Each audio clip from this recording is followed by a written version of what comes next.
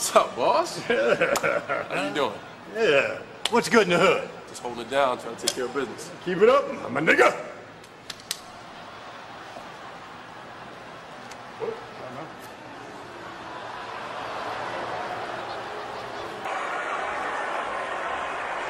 What did he say?